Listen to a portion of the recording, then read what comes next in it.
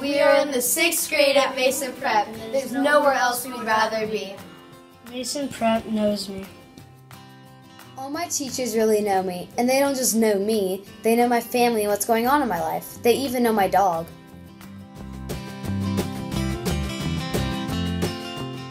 There's always someone to listen. I feel comfortable here. It's like a big family. We have fun.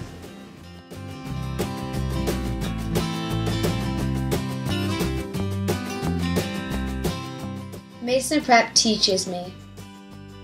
The teachers teach us in, a, in fun ways to make the subject interesting. We do experiments, work on our tablets, and make videos. Here's Mr. Huser singing a song in geography class to teach us about Russia. Did you know owls swallow their food whole?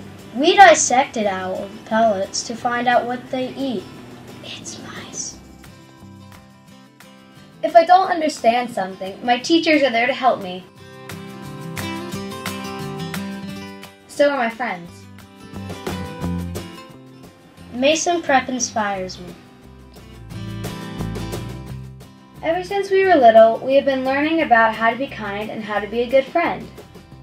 Every day we have a nice night. This person is recognized for doing something kind, like helping someone pick up their books or cleaning up without being asked to. We have pen pals in the lower grades. It's important to be a good role model for younger kids.